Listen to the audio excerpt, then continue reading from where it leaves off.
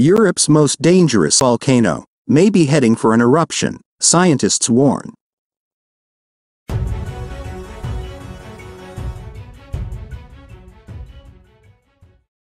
Campi Flegrei in Italy is showing some troubling early warning signs, but scientists warn that its eruption is far from certain.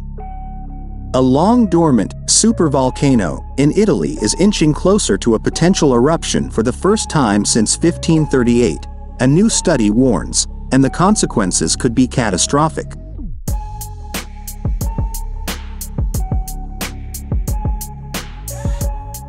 The Campi Flegrei volcano, near Naples in southern Italy, has an increasingly weaker crust and is more prone to rupturing, making eruptions more likely, said scientists involved in the new study.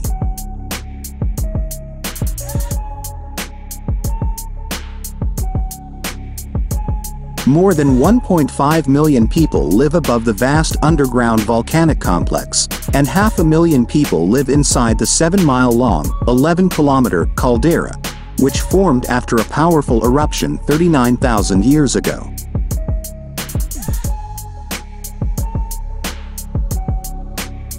If Campi Flegrei returns to its largest previous eruption, it would throw molten rock and volcanic gas high into the stratosphere, generating a tsunami as high as 100 feet 33.5 meters, and sending plumes of sulfur and toxic ash that could plunge the Earth into a global eruption.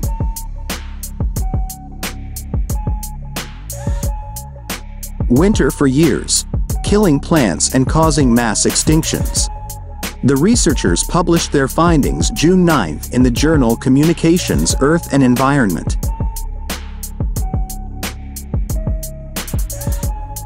Our new study confirms that Campi Flegrei is getting closer to collapse, said study lead author Christopher Kilburn, a professor of earth sciences at University College London, in a statement.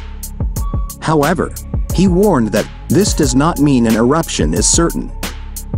Rupture may open a crack in the Earth's crust, but magma still needs to be pushed upwards at the right location for an eruption to occur.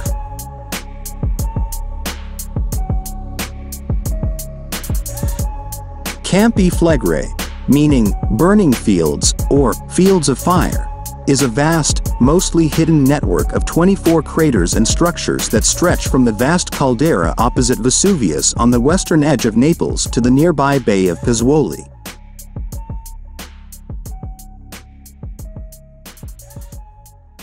Although Campi Flegrei is often referred to as a supervolcano, this is not known for certain. Supervolcanoes are volcanoes that can produce the highest magnitude eruptions, ranking 8th on the Volcanic Explosion Index, ejecting more than 240 cubic miles 1,000 cubic kilometers of material in the process.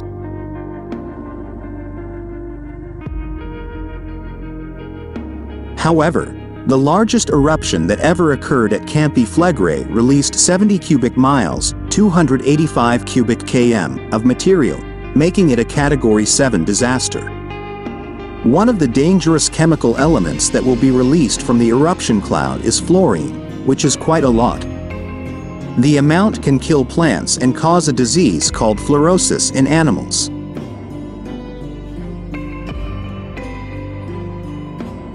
The volcano has been volatile since the mid-20th century, with increased activity in the 1950s, 1970s, and 1980s.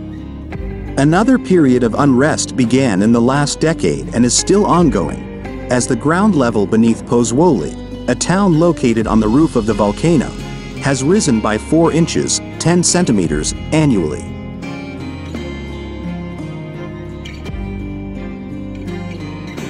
thus causing a total height change of 4 inches 10 centimeters each year. 13 feet 4 meters since the 1950s. Campi Flegrei also continues to experience small earthquakes, with more than 600 detected in April, breaking the largest monthly earthquake total ever recorded in the region.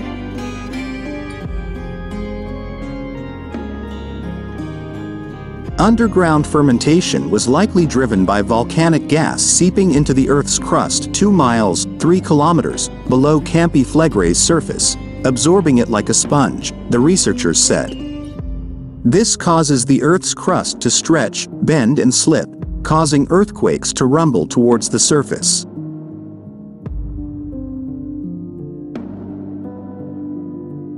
If enough volcanic gas enters the Earth's crust, the heat and pressure it creates can push the rock beyond its critical degassing pressure, cracking it and opening a gap for the underlying magma to burst out in an eruption.